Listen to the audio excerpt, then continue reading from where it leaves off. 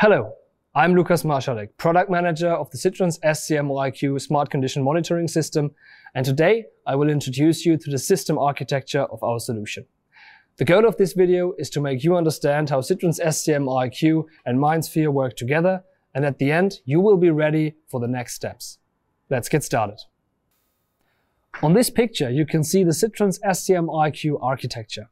The system mainly consists of three components the SITRANS MS200 multi-sensor, the SITRANS CC220 Cloud Connect gateway, and the SITRANS SCM IQ MindSphere app.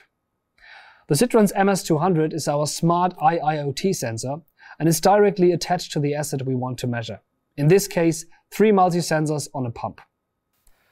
The SITRANS CC220 is the gateway to the cloud and receives the sensor's data via Bluetooth communication. It also needs an internet access to work properly. The SITRANS SCM IQ app is deployed in the cloud, and you can access it with your MindSphere account. The SITRANS SCM IQ app also contains all the features necessary to set up and operate the solution. After the MS200 has been attached to an asset and configured in the cloud software, it will send vibration and temperature data to the SITRANS CC220. The CC220 will then collect the data, encrypt it, and send it to the cloud via internet connection. The data in the cloud can then be used for the training of data models in the SITRANS SCM-IQ app. Once a model is trained, the application can detect if anomalies in the monitored asset will occur and will notify the user accordingly. The MindSphere, our Siemens cloud platform, is the backbone of this system and I will give you a short overview about it now.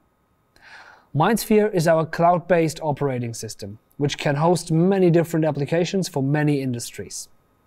The MindSphere can be purchased in two different ways. Either you use your existing MindSphere value plan, or you source the app via MindSphere Package Builder.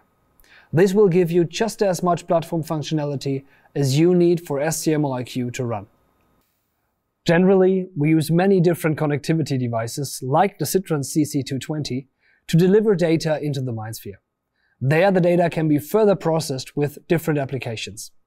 These applications can just visualize data, but also analyze it and generate useful insights.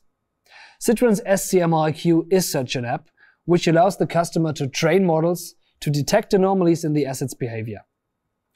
There are three very common terms in the MindSphere environment, which I quickly want to define. Asset, aspect, and type. If we take a look at the real-world example, an asset is a digital representation of a machine or an automation system with one or multiple automation units connected to MindSphere. For example, a PLC. The data of an asset is collected and sent to MindSphere to make this data available for further processing and analytics. A type is a pre-configured template for an asset. Assets take on the properties of the type on which they are based. Within the type, you can define which aspects are integrated into the template. Last but not least, an aspect is a data modeling mechanism for assets. Aspects group related data points based on their logical association. For example, the pump skid has an aspect, e.g. energy consumption, that contains the data points power, current, voltage, etc. Aspects is specified in Asset Manager, and its name can be freely chosen, but should have conjunction to data points and a physical asset. Thank you for watching. You are now familiar with the SITRANS SCM-IQ system setup and the required MindSphere basics. See you next time.